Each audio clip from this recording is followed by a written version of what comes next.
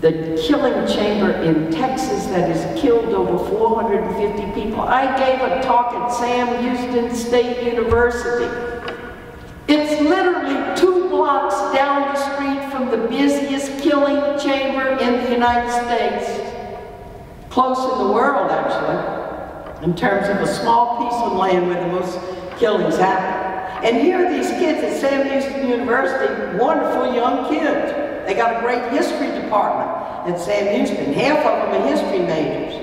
And there they are packed into this auditorium. And here I am talking to them and telling them stories to bring them close to a reality that's two blocks away but could be in India.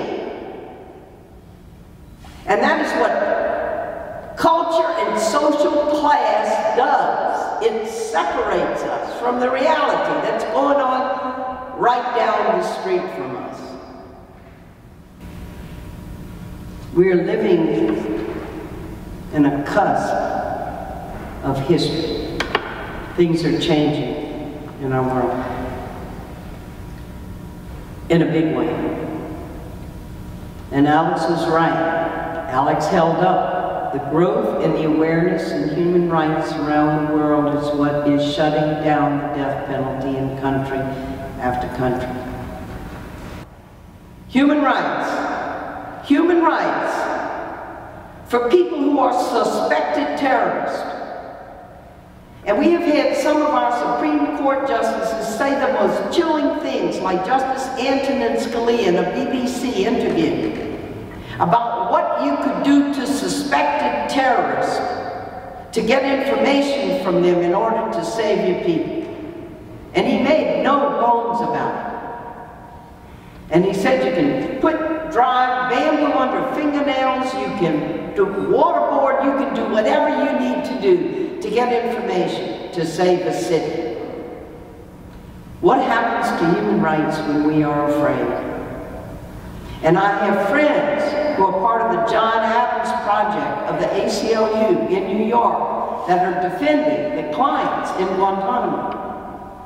And one of the things about the military tribunal is it is not admitted as evidence that that confession or whatever information you got was obtained through torture. They block that. You do not know that. So what kind of trial is that? And it's going to keep coming at us because nobody is immune. And we come down to the basics of what makes us a democracy and what makes us a society of human rights. And it is that we gather, that we learn from each other, that we get alternative sources of information other than from the sound bites that are put out over our media. That we keep our ear close to the ground and that we are in the company of people who are not of our socioeconomic class that we mix, that we don't stay in these hermetically sealed social circles of other people just like us. Churches don't always help. Because when you go to church, you go to church off people who are just like us.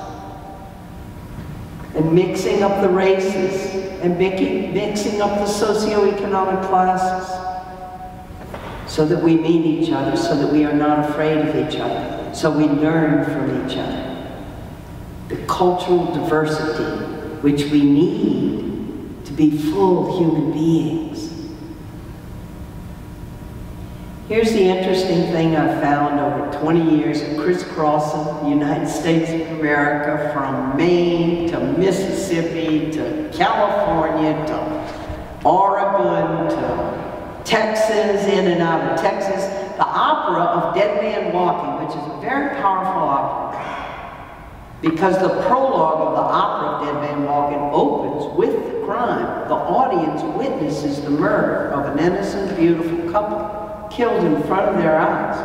And all of the story of the opera unleashes from that act. And they know who did it. They see who did it, and he's not remorseful. And so that part in all of us that says, well, if anybody deserves it, he does. And it's going to bring them through the whole journey.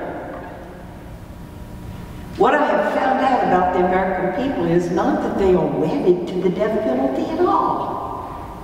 A recent poll just came out, 61% of Americans would be satisfied with life without parole. That's been rising. Used to be just barely 50%, then a little bit above 50%, because people really don't want to have to kill people. Jurors really do not want to have to kill people, each of them having on their conscience the life of this person because it takes a unanimous decision. And if even one of them doesn't vote for death, the person lives, so every juror has that person's life in their hands because if they don't vote for death, the person lives.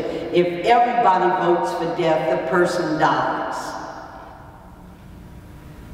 And I've been finding out that it's just that people haven't reflected very deeply on it. It's not one of the moral issues that hits most people personally.